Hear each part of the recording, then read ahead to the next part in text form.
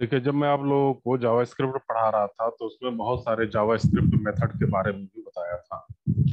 Theoretically मैंने बता दिया था, लेकिन उसके एग्जांपल मैंने ये बोला था कि आप लोग एग्जांपल करके देखिएगा और कोई भी प्रॉब्लम आता है तो उससे पूछिएगा। लेकिन आप लोगों की तरफ़ से कोई भी प्रॉब्लम आई नहीं। तो कई तरीके के मेथड पढ़े थे लाइक एज ए कि हमने सेल वैल्यू फाइंड आउट करना फ्लोर वैल्यू फाइंड आउट करना maximum minimum pi power function या power method round method square root method random method तो बहुत सारे मेथड हमने पढ़ा था। और एक दो में से सील और फ्लोर का एग्जांपल मैंने कराया था, बाकी आपसे बोला था कि आप लोग खुद कराना ठीक है? तो चलिए एक एक करके मेथड हम देखते हैं। तो सबसे पहला जो मेथड था वो ceil value so let us start with an example and with the help of example we can run all the programs. क्योंकि हम जावा मेथड के बारे में पढ़ रहे हैं और हमें ये पता है कि चाहे JS हो या CSS हो हर एक को हमें HTML कोड के साथ ही इनबिल्ड करके रखना पड़ता है। सो so, HTML के अंदर हेड आफ्टर दैट हेड के अंदर हम टाइटल लिखते हैं। और टाइटल में हमने लिख लिया जावा स्क्रिप्ट मेथड और टाइटल को कर दिया बंद। आफ्टर दैट मैंने हेड को भी कर दिया बंद। नाउ इसके बाद से हमारी बॉडी शुरू होती है। ठीक है? और बॉडी के अंदर सारा काम करते हैं।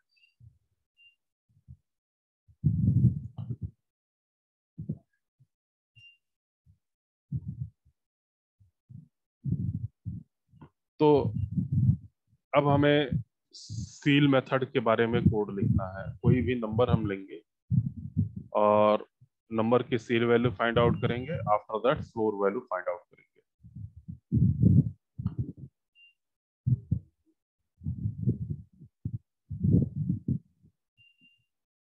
नाउ मैं कोई पैराग्राफ लेता हूँ। ID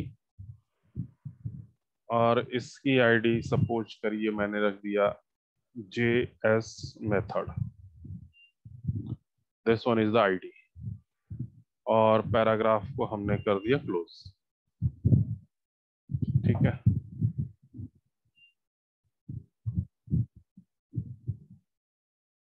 After that, we create a script. And inside the script we write our javascript code यहाँ पे। और एक लाइन मैंने आपको बोला था कि document dot get element by ID अब जो भी आईडी का नाम है, उसको पैरामीटर के तरीके से हम पास कर देंगे। So document dot get element by ID और पैरामीटर के तरीके से हम पास करेंगे जो भी आईडी का नाम लिखा हुआ है। तो यहाँ पे आईडी का नाम लिखा हुआ JS method JavaScript method किस तरीके का है हमारा inner H T M L is equal to अब मैथ फ़ंक्शन है सो वी राइट मैथ कौन सा हमें फ़ंक्शन या मेथड अप्लाई करना है तो सील मेथड या सील फ़ंक्शन और इसके अंदर कोई वेरिएबल लाइक कैसे मैं टेन पॉइंट सिक्स की वैल्यू फाइंड आउट करना चाहता हूँ। ठीक है?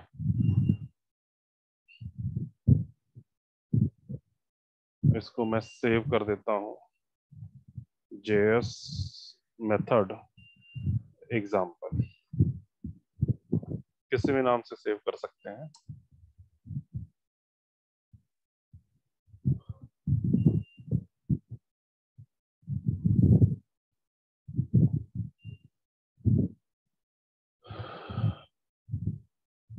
देखिए, मैं आपको स्क्रीन शेयर करता हूँ रन कराने के बाद।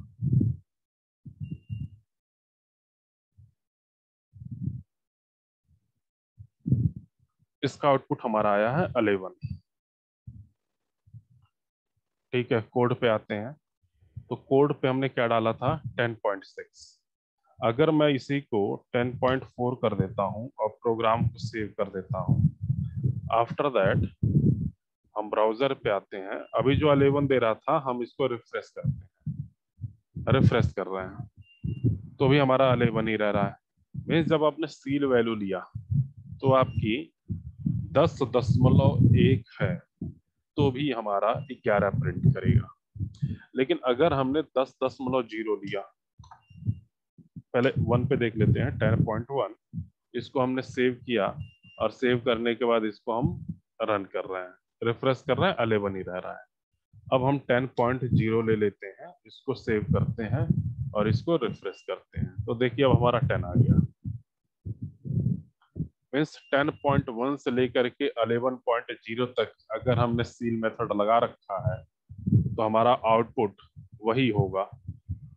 मतलब 10.1 से लेकर के 11 तक की केस में आउटपुट हमारा हमेशा 11 ही आएगा।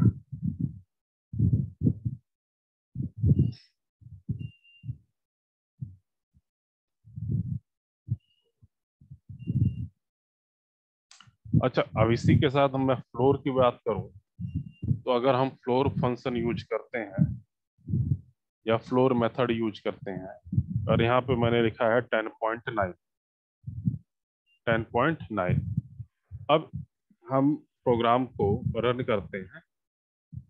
प्रोग्राम को हमने रिफ्रेश किया तो देखिए 10.9 पे भी आपका 10 दिया। मीन्स 10.1 से लेकर के 10.9 तक सबकी वैल्यू अगर हमने फ्लोर मेथड ले रखा है तो उस केस में 10 ही आएगा। बाकी इसके पीछे का कॉन्सेप्ट आप लोगों को पता ही है what is the ceil value what is the floor value ये सब बचपन से पढ़ते चले आ रहे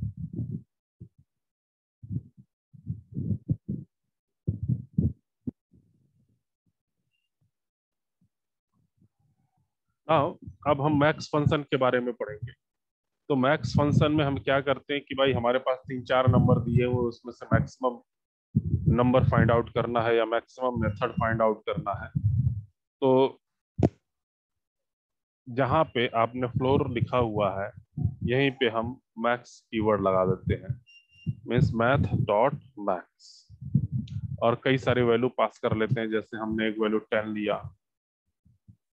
कॉमा लगा करके एक वैल्यू हमने ट्वेल्व ले लिया, फिर कॉमा थर्टीन ले लिया कॉमा माइनस एट ले लिया, या माइनस फिफ्टीन ले लिया। इसको हमने सेव किया। सेव करने के बाद ये हमारा पुराना था, इसको मैंने रिफ्रेश किया तो तेरह आ गया। मीन्स दस, बारह, तेरह और माइनस पंद्रह में से जो सबसे बड़ा नंबर रहेगा वो वैल्यू रिटर्न कर देगा।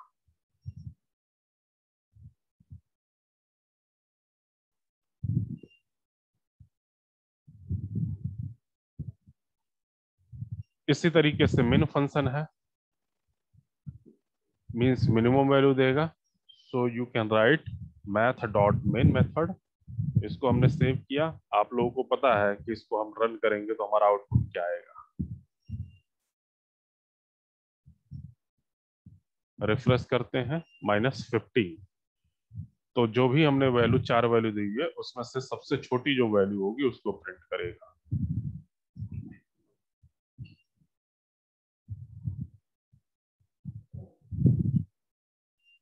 आफ्टर दैट हमारे पास सील और फ्लोर हो ही गया मैक्स और मिन भी हो गया, और उसके बाद हमारा पाई फ़ंक्शन है, ठीक है?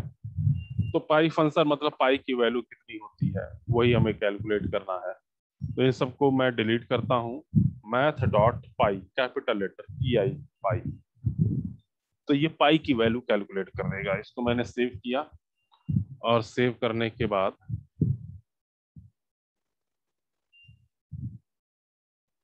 आउटपुट देखें और इसको मैंने रिफ्रेश किया। तो 3.1415 ये आपका आउटपुट आ गया।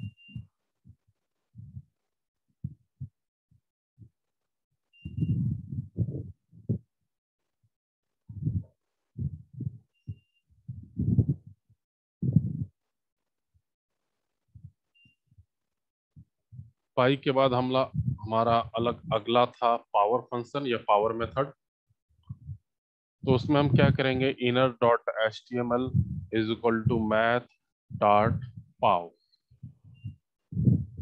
P O W उसके बाद बेस की वैल्यू लाइक जब मैंने बेस लिखा आफ्टर दैट पावर की value two comma three means two हमारा बेस है और थ्री पावर है। मीन्स टू की power three is equal to eight output आना चाहिए। और मैं इसको रन कराते हैं। गूगल क्रोम को शेयर किया रिफ्रेश किया तो एट आपका आंसर आ गया। So this one is the use of power function और किस तरीके से हम जीएस में या जावा स्क्रिप्ट में उसको अप्लाई करते हैं, ये हमारा है।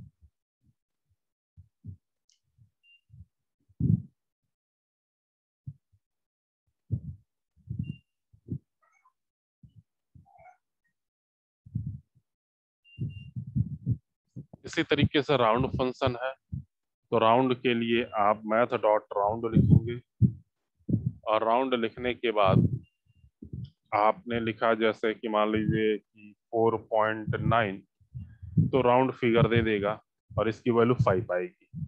फोर पॉइंट फोर लिख रहे हैं तो इसकी राउंड वैल्यू दे देगा, फोर आएगा।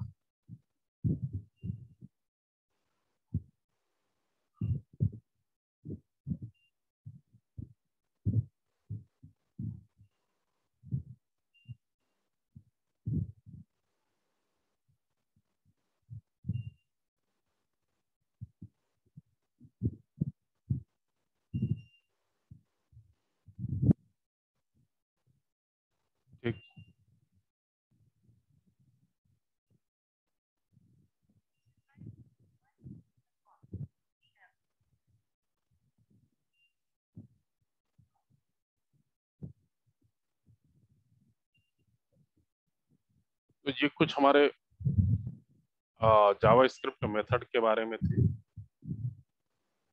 जो, या जावा स्क्रिप्ट फ़ंक्शन के बारे में थे, जो मैथ फ़ंक्शन के अंतर्गत आते